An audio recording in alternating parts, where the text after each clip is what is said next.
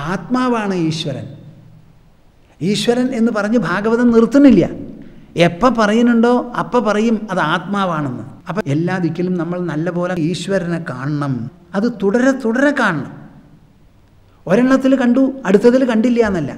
ചെടിയാണെങ്കിൽ ചെടി വൃക്ഷമാണെങ്കിൽ വൃക്ഷം ആകാശമാണെങ്കിൽ ആകാശം ഗോളമാണെങ്കിൽ ഗോളം. എവിടെ നോക്കിയാലും ഈ ആത്മസ്വരൂപിയായിരിക്കുന്ന ഈശ്വരനെ കാണണം. അതാണ് നമുക്ക് ആവശ്യം.